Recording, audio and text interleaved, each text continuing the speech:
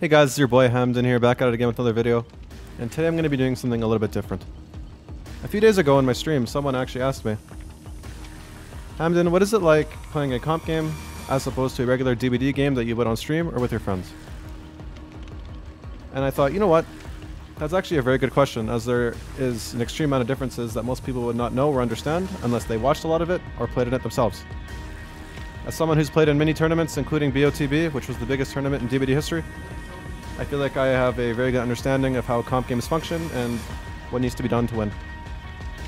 So what I'm going to do today is showcase a game from my stream, or a VOD, where I intentionally run a killer to the best of my ability in the most optimal, strategic way in order for my team to do the gens without ever being interrupted or harmed. Well, without comms, what I do is I just run Bond. I identify where my team is and what gens they're on, and I take the killer as far away from those gens as possible. This allows them to complete all the gens without getting interrupted or pushed, and allows us to win the game not only quicker, but more effectively with less risk. I'm going to be going through my thought process through all these chases, and uh, I hope you guys enjoy.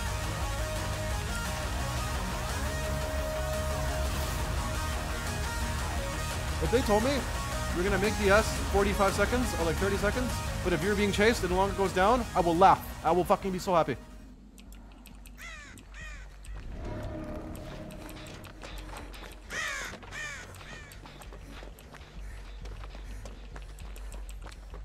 So here, the moment I get into the game, I understand that from Bond, both my teammates are on the Shack side of the map, and they're both on Shack side gens. So ultimately, my goal here is to find the Huntress and either keep her mid, where all the jungle gyms are, or take her all the way to the suffocation pit side, as far away as from the gen as I can.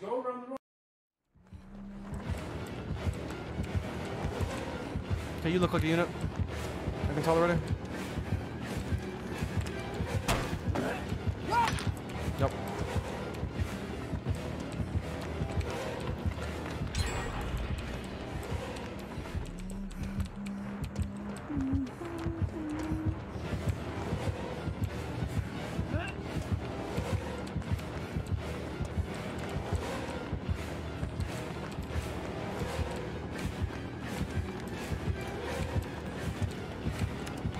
That's a slow vault. Fuck me.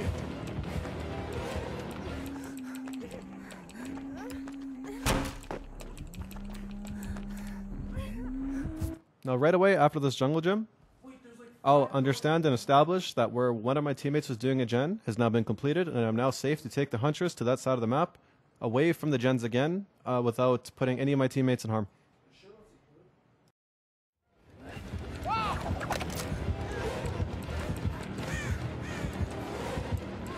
I hope you guys are understanding what I'm doing.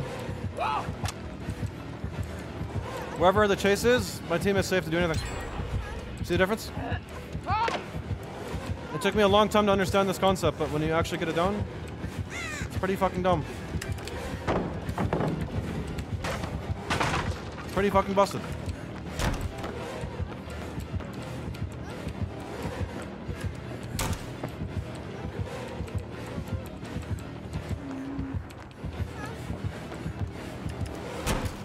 So right away when I look to my right, I see that one of my teammates is across from me doing another gen.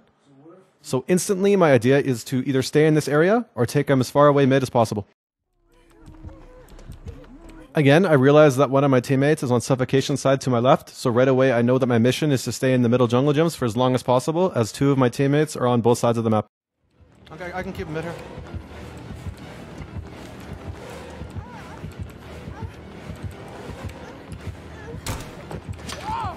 See the difference?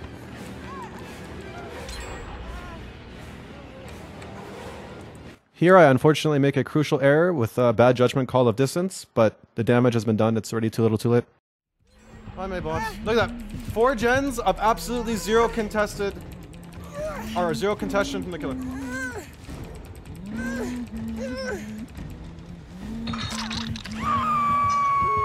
Five gens. There you go.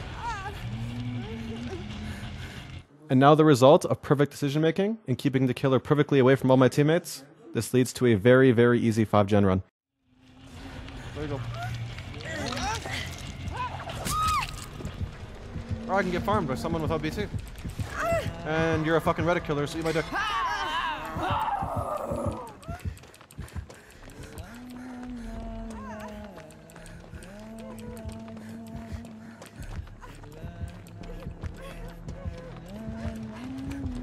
I don't like this position.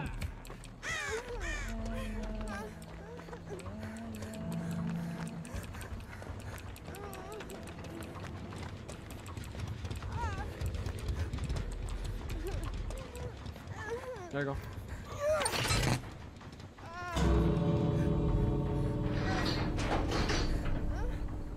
That is how you literally play like a comp game and instantly win. Because I don't have comms, Bond helps me see where they are. I take them the other way or I keep them away from the other gens. My teammates did five uncontested without even being hit. That is how you win a game. Instantly. The difference is fundamentally wild. Were shooting at me.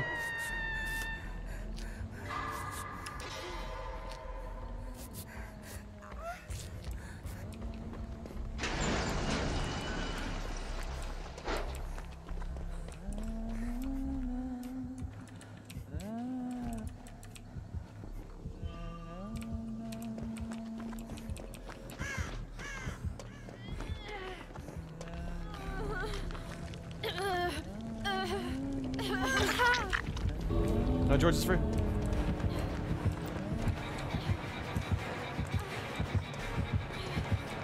Is he waiting on BT?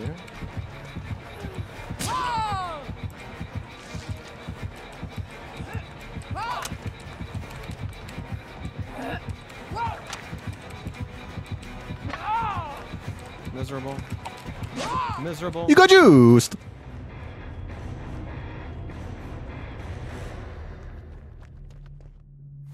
Imagine